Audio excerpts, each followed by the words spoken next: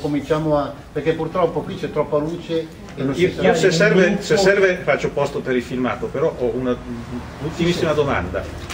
Ho sentito, c'è, c'è un tizio che si chiama Riccardo Tammaro, non so se conosce, Sì, conosco spesso molto. sulle cascine, che ha detto che Conosco molto bene. dal Senegal si sono mostrati interessati al modello della cascina lombarda. Sì, sì. Quindi, se- ascoltando adesso quello che dicevate, mi chiedevo, questo posto potrebbe, e devo chiedere a voi che siete del Politecnico, quindi siete voi che, che siete quelli che hanno più collegamenti con l'estero, essere pro- promosso come luogo di studio per università straniere che magari americane o, o arabe o altrove che finanzino delle borse di studio che poi portino qualche soldino anche qui.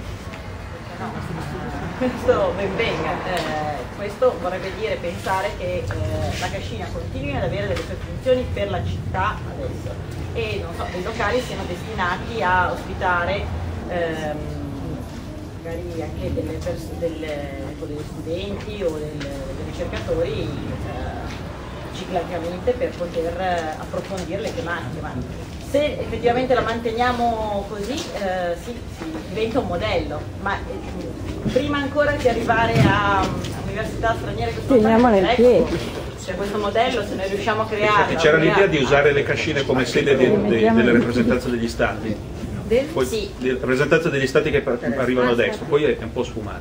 Sì, eh, devo dire, Exo si è mossa tanto dopo si è rallentato comunque. eh, sicuramente cioè, se si riesce almeno ad arrivare a un livello di comunicazione del, qui ci sarà la messa in sicurezza, quindi sarà accessibile, visibile, eh, anche quello che è il collegamento con il parco, cioè con, con la sua agricoltura, attraverso anche la via d'acqua.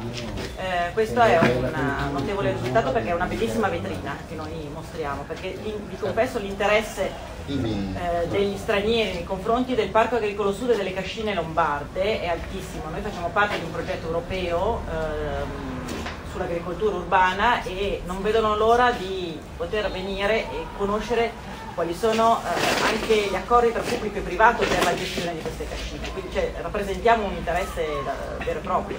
Noi faremo sicuramente qui il meeting nel 2015 quando gli studiosi verranno perché vogliono venire in occasione di Expo, anche se sarà un gran casino, Ehm, e quindi una tappa la faremo anche qui per mostrare che cosa che cos'era e che cosa può essere adesso il modello di agricoltura urbana per, per l'estero.